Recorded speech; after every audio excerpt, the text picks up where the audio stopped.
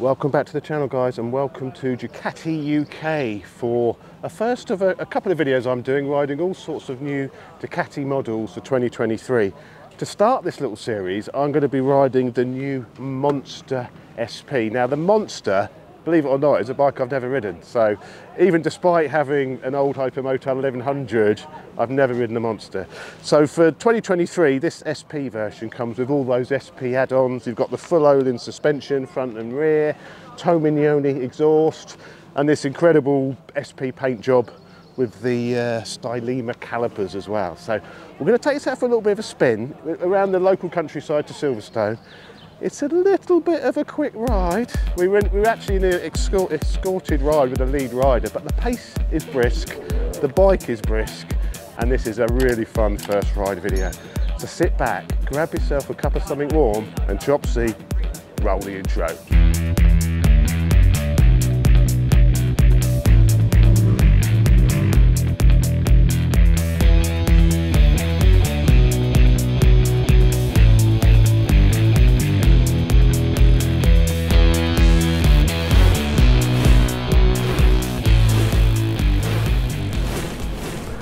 Monster is actually a bike I've never ridden before. it's one of those bikes, few bikes which has slipped under the radar and I've never tried before. So I'm really, really interested in trying it. Obviously, I've ridden the Hypermotard before. I love the Hypermotard. That's the same engine. I think it's a different frame. Yeah, it's definitely a different frame. The Hypermotard's got a trellis frame and this is on the, the uh, what do they call it? The, uh, oh, what's it called? What's it called, that frame? Uh, can't remember. It's got one of those frames anyway. The same engine as the Hyper the L twin 111 horsepower I think 98 newton meters of torque. You know it's it's a it's a torquey engine you know. It, this is I know they got the the V2 engine. Is a very revvy twin. This is more of a torquey twin. So this is more power in the bottom end. If it's anything like the Hyper anyway I'm really quite eager to see what this is going to be like. I think it's going to be like a blooming supermoto as well. Lightweight, loads of power. I've turned off the wheelie control. We're good to go. So for those which don't know, I'm six foot two, 20 stone, so a rhino of a man. And this is a little lightweight. I think this is really light. I think it's 150, 160-ish kilos dry. Riding position is very upright. Your feet are sort of back a little bit again you're sort of very upright on the seat. There's no real weight on the bars which is quite surprising. I thought there might be a bit more over the front you know being the SP and a bit more weight on the front but you're very upright. Actually a very similar riding position to the uh, Street Fighter. Yeah this feels quite similar to the Hypermotard in many ways. Obviously shorter travel suspension not quite as long. But it's got a similar sort of feel to it perhaps a bit more support with the seat because the, you know the big bench seat on the Hyper is not particularly comfortable. Also the Hyper sort of feels like you're on the nose this is a bit more relaxed. I think yeah the Hyper does have that weight over the front sort of feel to it you know very aggressive. This is a bit more neutral than the Hyper. Suspension on the rough stuff yeah it's quite firm. You know it was going to be now this has been set up for handling, not comfort really. That's why you've bought the SP, isn't it? A few track days, sporty road riding. It's what you want. Yeah, this, this feels nice. This feels really nice actually. Loads of grunt, loads of pickup. You know, this again is one of those engines which has been in the Ducati lineup for years and years and years and over the years it's just been refined refined refined. And now very very easy to live with this.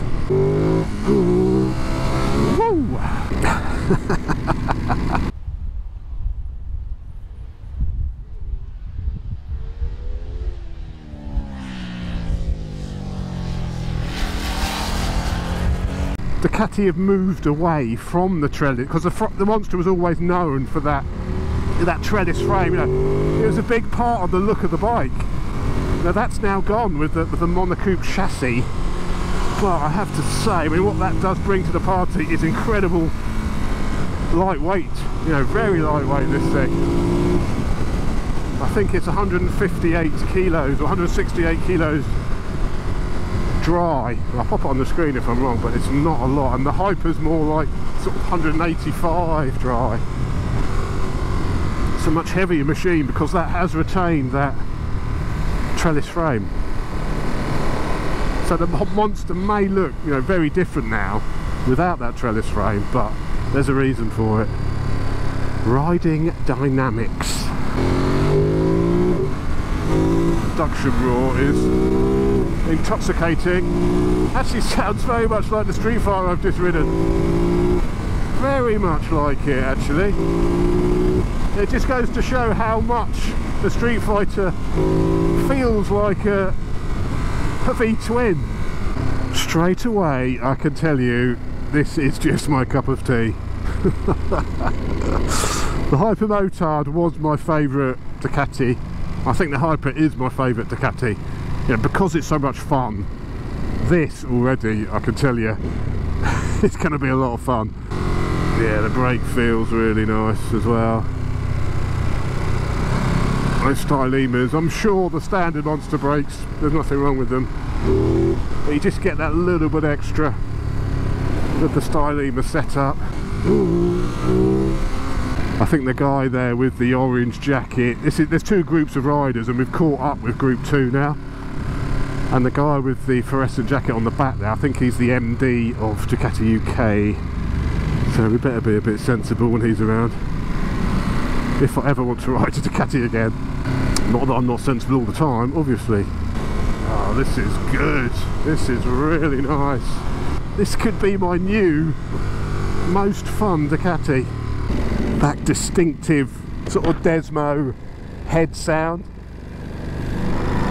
There's something there's something special about the Desmo twins. I'm so pleased Ducati haven't completely removed all the twins from the range. I mean the V4s are fantastic, but there's something I don't know, there's something special about a Desmo twin that you just can't replicate with these parallel twins with their cross-plane cranks. You just there's something special about a twin. And it's nice to see you know still being used even though the Öhlins is set firm and, you know, it's got a rigid chassis this it's still plush because it's Öhlins it's plush you know it feels really nice and even over the, these roads aren't great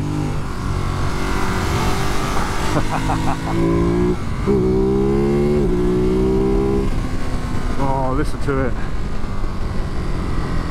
It's so agile, it just dances on the nose.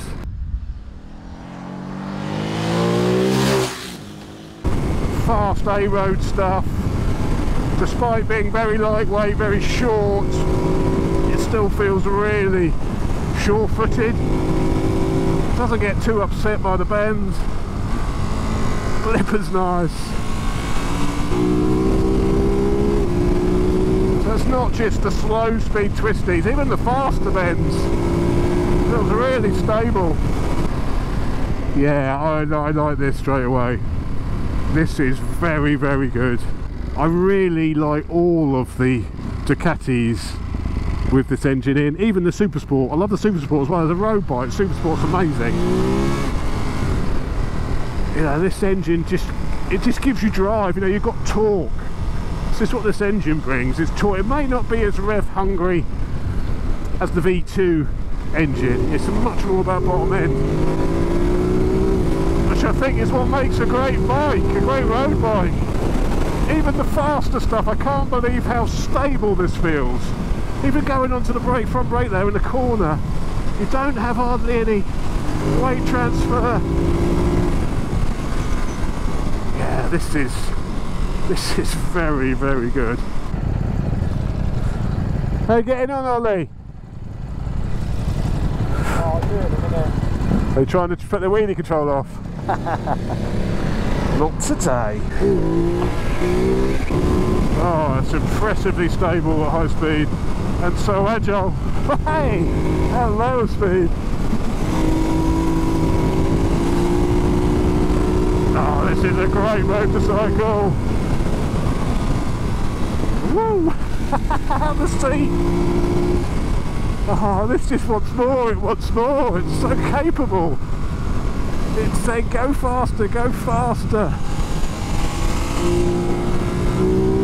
Oh yeah, brakes are so good as well.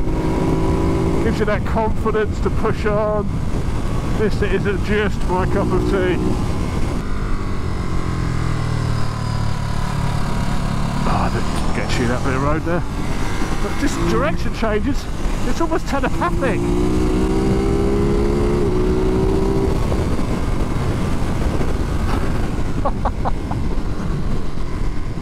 Oh, the harder you push, the more it loves it. and the more I love it. Oh, what a thing this is. This is brilliant. I love middleweight bikes for the reason that you can work the engine, you can thrash them. You know, and you're you're doing everything below sort of 100 mile an hour-ish. You know, you're not the Street Fighter, which I've just stepped off, was amazing. But you look down and you're doing jail speed so quickly. This you're working the engine, you're throwing it around. The dynamics of the bike, I think, is better than the Street Fighter. It's giving me more feedback. It's I feel like I'm riding this the Street Fighter does feel a bit like a techni technological marvel when it's doing so much for you. I feel like I'm in control here. This is a really engaging motorcycle. This feels so agile, so short, so light, but with such stability at speed. That is uh, quite an achievement there. It's going to get the chops pat of approval feel like you could outride anything on this. However hard I push it, it feels like it's got more there. I'd love to take this on a little gnarly track like Cadwell Park. Oh, it would be incredible around there. Yeah, I, I'm thinking this actually could be better than the Hypermotard. I think that additional loss of weight, you know, that's that it's a bit lighter makes a big difference. It's not more than a bit lighter it's a good 20 kilos lighter I'd say. That makes a huge difference. I can really feel that. Yeah it's not quite as on the nose from a handling point of view but it's so light it doesn't matter. It makes up for that. Yeah this is uh, this is very good. Very good indeed. But I think the suspension even though it's firm but it's it's plush as well. You can certainly see the quality of that gold stuff.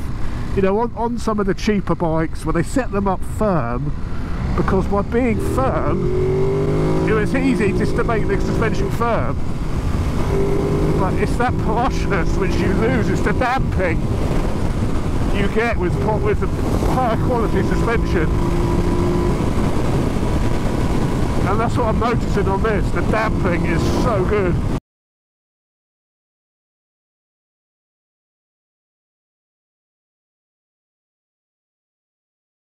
There's the flybys finished and the picture's finished.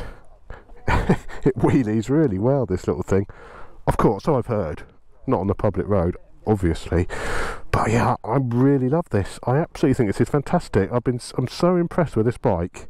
I knew I'd like the the Monster. A lot of people said, test the Monster, Chopsy, test the Monster. I've even got a nice little underslung Brembo at the backlet and I can see why it is I mean the Hyper is great based on the same platform but you can see on the Hyper you've got the trellis frame adds a lot more weight to the bike with the monocoque chassis sort of here. There's just a tiny little bit of chassis which the airbox is sort of built into and it just keeps the weight of the motorcycle really low you know? And uh, yeah I think this is my new favourite Ducati. Out of all the Ducatis I think this is now my new favourite machine. I'm going to have to put this in a group test, I think, against the the best of the middleweights, perhaps against the KTM Duke R. You know, it fits into that sort of category, doesn't it? 111 horsepower. Oh, the Duke's got a little bit more power, but weight's probably very similar. You know, this is a full twin, full V twin, none of this parallel twin nonsense. a proper motorcycle. So yeah, we're going to have to bring this into our group test because for me, this is top tier, top tier middleweight action. Right, back to Ducati HQ now for some pizzas. It's hard life, this YouTube stuff, I tell you. I think we've got some delicious wood-fired pizza when we get back. Ah, it's tough old game. Tough old game. I'm mighty impressed with this little steed. I mean, I, I thought it would all run out of puff, but it does run out of puff. Sort of when you get above three figures. I mean, yeah, it's 111 horsepower. It's not about, you know, going over in three figures. It's not a three-figure motorcycle. It's not designed for that. And our streets aren't designed for that either. You know, as a road bike, I don't see why you'd want more than this. 111 horsepower never felt so fulfilling on the road. It's absolutely an awesome, awesome bike this. Yeah, I guess I should try the non-SP, but I can tell the reason I like this is because of the chassis so good. And I think if I was to go non-SP, it would, uh, you're going to lose that, a lot of that. Hello! Ruby Rides. An exceptional, exceptional little bike. I don't mean little bike in a condescending way. I mean, it's not actually that little.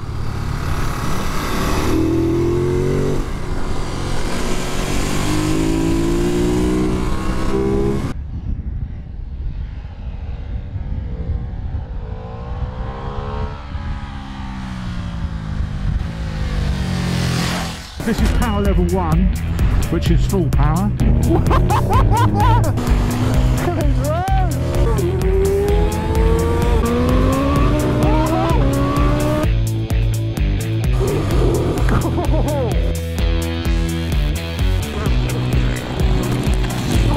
It's that boy. I could do that all day. What have you done here? I told you I was scared back there. Never dropped a bike before in my life. Oh! Backfire! That's it! That's it! Listen to this. Never mind getting beat up. Give me this any day of the week. Oh,